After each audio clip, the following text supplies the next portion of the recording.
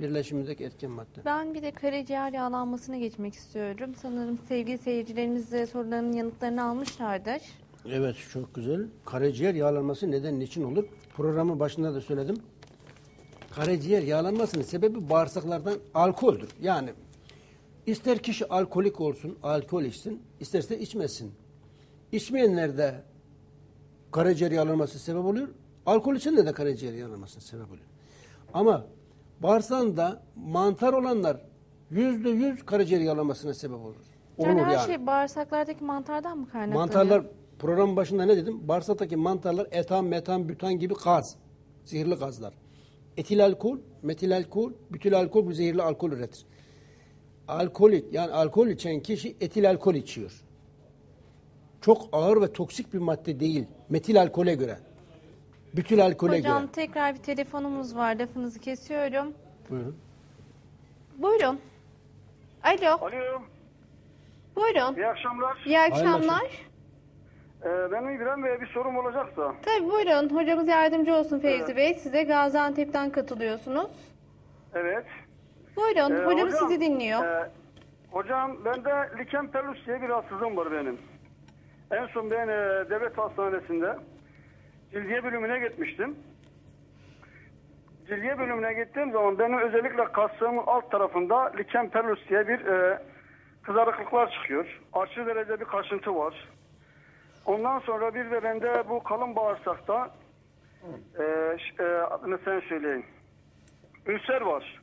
Bunun ne, sebebi nedir ve neden olabilir? Şimdi liken, liken planus da bir çeşit mantar.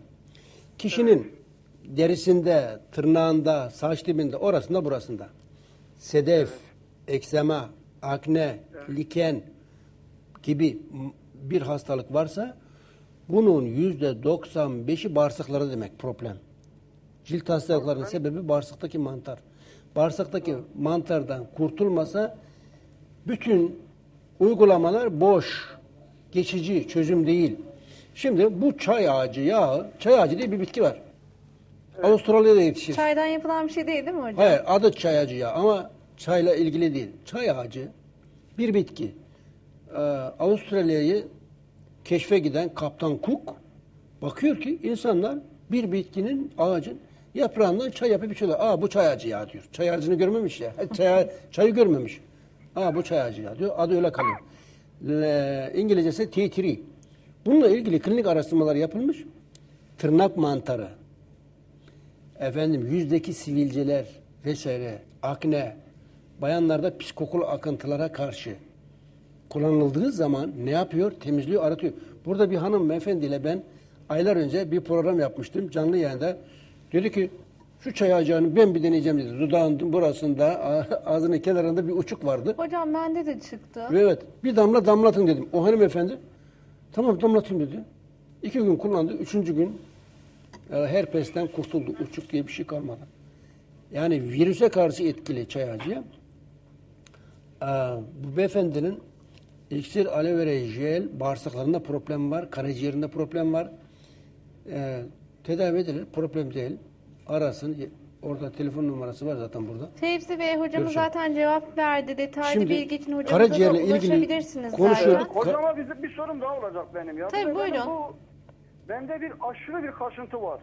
Biraz önce söyledim ya. Şimdi bakın programın başında siz herhalde seyretmediniz. Dedim ki her türlü alerjik hastalık, her türlü cilt hastalığının tek bir sebebi var bağırsak mantarları.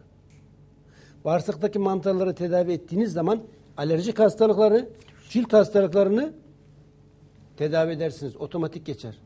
Hocam zaten sorusunun yanıtını aldı. Evet. Şimdi engin